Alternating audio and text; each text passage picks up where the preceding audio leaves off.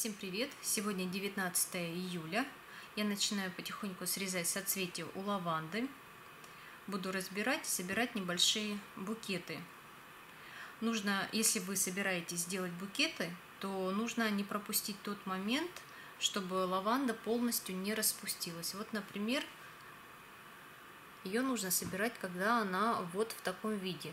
То есть частично она уже цветочки распустила. Остальные все в полуроспуске или в бутонах. Вот тогда букеты будут красиво смотреться, и вот эти цветы, они не будут осыпаться. Но если вы букеты не собираете, поэтому дайте ей полностью отцвести, а потом уже срезайте. Обрезку я делаю обязательно летнюю. Это провоцирует лаванду на второе цветение при хорошей осени. Ну, в принципе, она у меня всегда второй раз и зацветает. И дальше еще у меня третья обрезка – это поздняя осенняя, в зиму.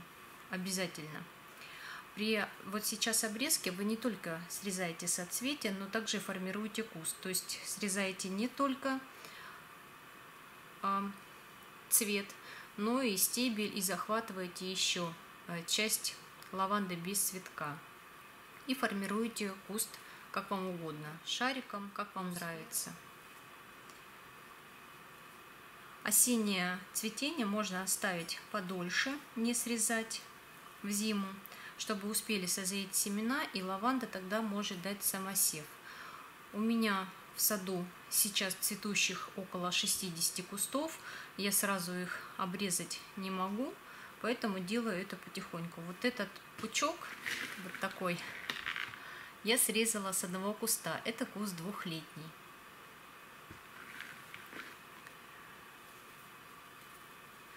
Я собираю букетики небольшие и также делаю саше.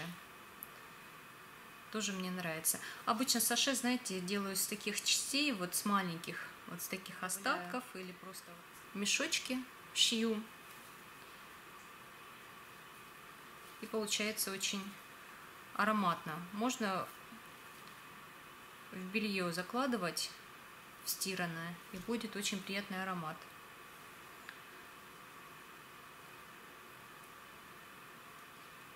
Процесс этот собирания букетов очень творческий, успокаивающий, потому что аромат стоит невероятный. Лаванду я сейчас соберу, скреплю льняной бечевкой и повешу вниз головой, то есть чтобы соцветия смотрели вниз. И тогда они будут прямые. Если сушить э, соцветиями вверх, то обычно они отгинаются и кустик растрепанный получается. Как я уже сказала, что при формировании букетов здесь главное не упустить момент распуска цветка. Давайте я вам еще раз покажу. Вот, Видите, они еще не распустились, но набрали уже э, свою силу, цвет красивый. И вот в таком виде нужно собирать. Иногда можно собрать еще, когда вот здесь, вот на кончике, распускается 3, 5, 6 цветочков. Тоже можно собрать. Просто если будет полный распуск, то цветы не сохранятся, они у вас быстро осыпятся, когда высохнут. А вот такие они буду сохранять и цвет, и вот форму всего э, сделано вами букетика. Сейчас соберу и вам покажу, что получится. Связала я два букета. Посмотрите, какая получается красота. Их можно вязать разные, и большие, и маленькие. Это все зависит от вас, от вашей выдумки, от дальнейшего применения этих букетов. Вы знаете, просто взять за ниточку, вот так подвесить вниз головой на кухне, это очень-очень красиво смотрится. Или просто уже высушенный вот такой букет поставить в старинную посуду, тоже великолепно. Вообще лаванда, мне кажется, везде и всегда красиво смотрится. Сейчас я, конечно, эти два букета подвешу вниз соцветиями, дам им высохнуть. А вот такие вот, допустим, остатки, где-то соцветия э, сломаны или, допустим, они мелкие, можно это не выбрасывать, а применить для саше. Набить мешочки и положить среди чистого белья великолепный аромат. Завтра уже 20 июля, я все-таки хочу постараться, хочу заснять видео, как я срезаю соцветия, как формирую а, куст лаванды. Я сейчас буду резать соцветия каждый день по чуть-чуть, потому что весь объем лавандовый, который у меня находится в саду, я не осилю в один день, поэтому я постараюсь завтра заснять для вас видео о обрезке, о летней обрезке лаванды. Сегодня 20 июля. Я хочу вам показать, как я срезаю соцветия у лаванды. Этот куст я вчера обрезала, сформировала крону в виде шарика. А это сейчас буду срезать. Покажу вам. Этому кусту уже два года. Выращивался он из семян. Делать я это буду с помощью аккумуляторных ножниц. Очень удобная вещь. Раньше не было у меня их. Я срезала просто садовыми ножницами.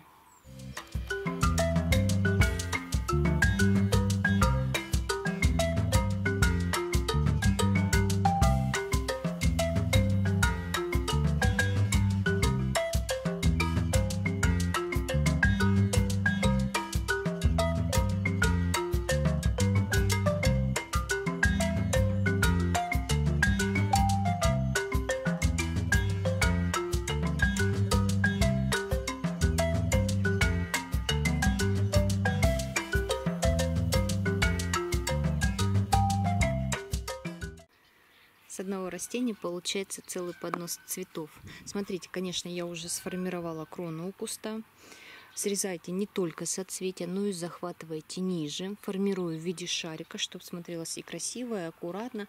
И при хорошей осени, да, собственно говоря, мне кажется, при любой осени лаванда у вас второй раз зацветет.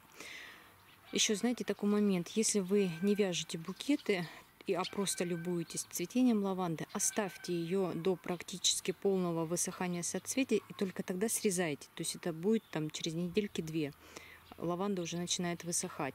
Но если вы вяжете, конечно, букеты, то нужно срезать уже сейчас, ну, у кого какой регион, конечно, но чтобы был частичный распуск у цвета, чтобы не опоздать. Ну, а теперь я вам хочу показать. Пойдемте со мной. Еще один вариант, как можно сделать букет лаванды для подарка.